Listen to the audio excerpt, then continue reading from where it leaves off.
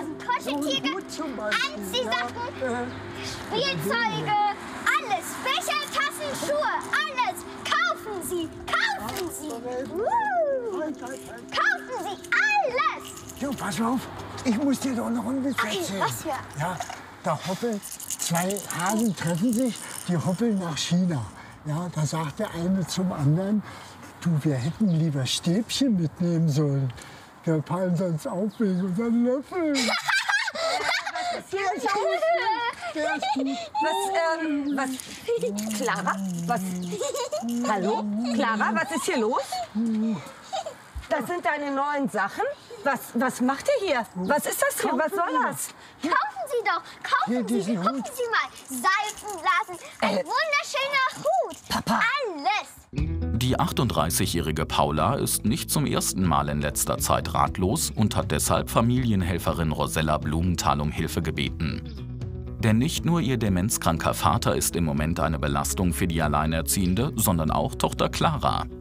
Die Neunjährige versucht seit einiger Zeit mit allen Mitteln an Geld zu kommen und hat ihre Mama sogar schon beklaut. Wissen Sie, was mir gerade einfällt, wo ich den Hund hier sehe? Ich habe der Clara einen Hund verwehrt. Die hat mich vor ein paar Wochen gelöchert. Sie möchte unbedingt einen Hund, einen Hund, einen Hund. Und ähm, das gibt's nicht. Ne? Also ich meine, ich bin fast Vollzeit arbeiten. Da können wir uns jetzt nicht noch einen Hund anschaffen. Also das ist eine Sache, die geht nicht. Und vielleicht will sie sich selber einkaufen. Was anderes fällt mir Wäre eine fällt Möglichkeit. mir nicht ne? ein, warum die da so an Geld anscheinend kommen möchte. Wo ist Clara denn jetzt? Ist sie die- oben in ihr Zimmer? Ja, oder? genau, genau. Okay, also ich würde gerne mal mit Clara sprechen. Gerne. Ist das okay? Ja, gerne. Einfach die Treppe hoch. Ich räume in der Zeit noch ein bisschen hier auf. Ja, na ja? klar. Danke schön. Der unerlaubte Hausflohmarkt ist nur eine von vielen Aktionen, die Claras Mutter zu denken geben. Seit ihr demenzkranker Vater bei ihnen eingezogen ist, hat sich ihre Tochter stark verändert.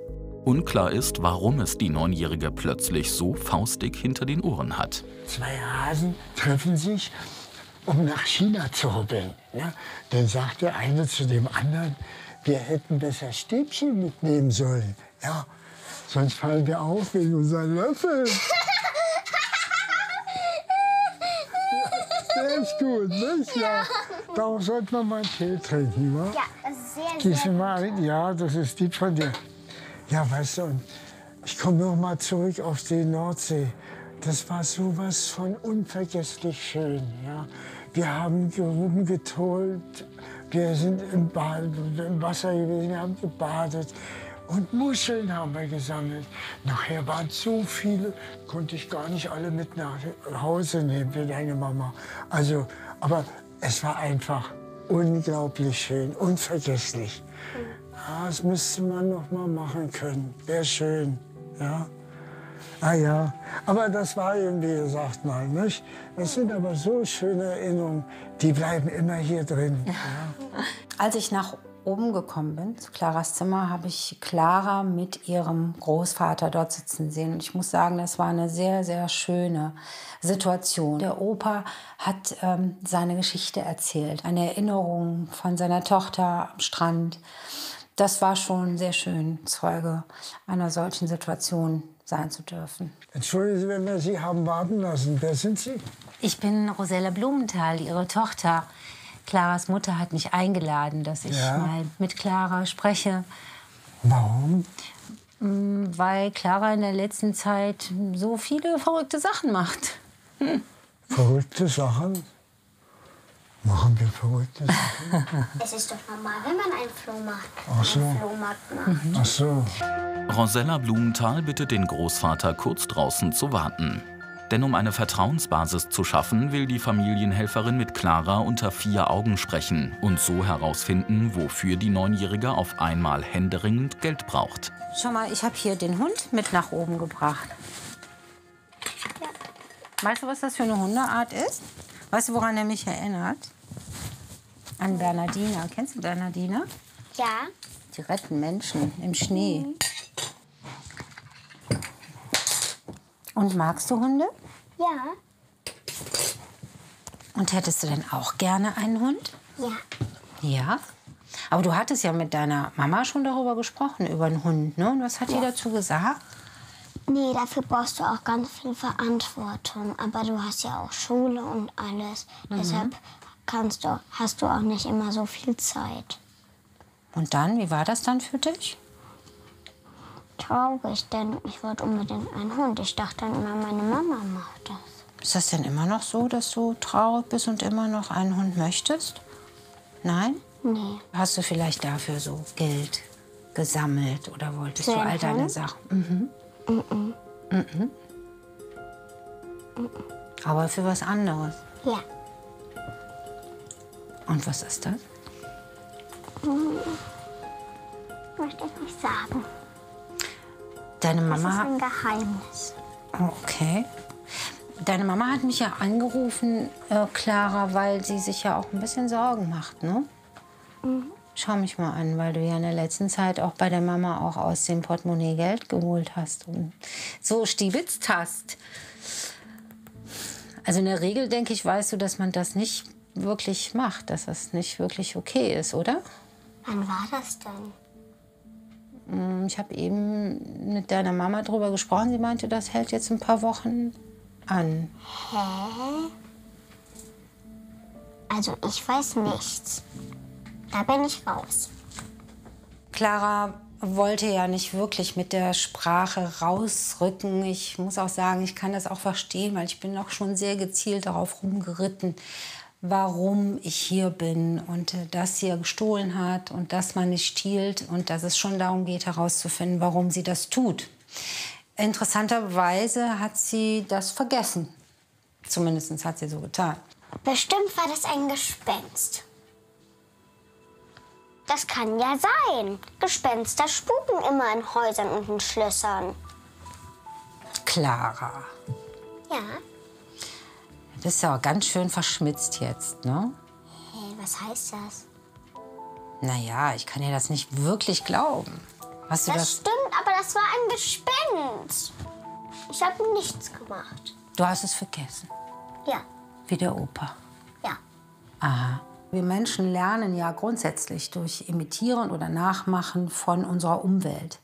Insofern war das jetzt nicht ungewöhnlich, dass Clara im Grunde das Verhalten ihres Opas nachspielt oder nachimitiert. Der Opa ist ja vergesslich, kann sich an bestimmte Dinge nicht erinnern. Und das war für Clara dann im Grunde genommen das Vorbild dafür, Dinge zu verdrängen, so zu tun, als ob nichts gewesen wäre. Wenn du es nicht sagen kannst, kannst du es dann vielleicht aufschreiben. Aber nur, wenn Sie versprechen, Sie sagen es nicht meiner Mama. Ganz großes Gespenster-Ehrenwort. Okay. Warum Clara wirklich zum Langfinger wurde, soll selbst die erfahrene Psychotherapeutin überwältigen. Das schriftliche Geständnis der neunjährigen Grundschülerin trifft Rosella Blumenthal nämlich mitten ins Herz. Na, Clara. Das ist der Grund? Ja. Als Clara mir das Heft gegeben hat, muss ich doch auch ähm, einen Moment lang schlucken, weil das war sehr berührend, was sich tatsächlich hinter dem Stehlen und Verkaufen von Clara verborgen hat. Du, ich fände es aber auch schon wichtig, dass wir das der Mama sagen, Aber Sie was der haben Grund ist. versprochen, dass wir es nicht meiner Mutter sagen. Ja, das stimmt, das habe ich versprochen. Aber schau mal, die Mama macht sich ja auch Sorgen. Ne? Sonst wäre ich ja nicht hier heute für euch. Ne? Ich meine, wir, wir müssen es ja nicht direkt sagen. Wir können ja auch zum Beispiel gemeinsam nach unten gehen und es darstellen oder spielen. Na gut, wir sagen es ihr ja nicht. Also, na gut, das ist okay. Ich habe eine Muschel, die wird vielleicht helfen, damit sie es besser errät. Das ist auch eine gute Idee. Wider Erwarten hat Claras Versuch, ganz viel Geld zu sammeln, etwas mit der Demenzerkrankung ihres Großvaters zu tun. Die Neunjährige wollte für ihren geliebten Opa unvergesslich werden und hatte eine Idee, wie sie das schaffen könnte. Es geht um deine Geschichte, Opa, die du mir immer Ach, sie meint erzählst. wahrscheinlich die von der Nordsee. Ich möchte genauso eine Erinnerung haben, haben wie du bei Mama. Und da wollte ich auch, dass sie im Herzen bleibt, dass wir auch mal Muscheln sammeln gehen, dass die bei dir auch im Herz bleiben. Ach, Mäuschen. Mensch, Hör mal, du bist bestimmt bei dem Opa immer im Herz. Immer. Ja, hast du denn geglaubt, der Opa vergisst dich? Aber Engelchen, komm mal her. Komm mal her. Nein, der Opa vergisst dich doch nicht. Nein, dazu hat er sich doch viel zu lieb. Ich denke, im Fall von Claras Familie sollte man von einer Konsequenz bezüglich des Stehlens auch absehen, weil sich dahinter wirklich eine tiefe emotionales Bedürfnis auch verborgen hat, was die Familie auch betrifft. Nämlich mit ihrem Opa zur Nordsee zu fahren, damit sie ungeteilte und unvergessene Momente miteinander haben können. Aber das gilt nicht grundsätzlich. Kinder sollen schon lernen, dass man nicht einfach stiehlt und man sollte in Kommunikation, Kontakt mit ihnen bleiben, dass sie sich mitteilen können und dürfen. Was hältst du denn davon, wenn wir alle drei in den Urlaub fahren? Das ist gut. Das wäre Sollen schön. wir das mal gucken? Ey, das wäre schön, wir alle drei.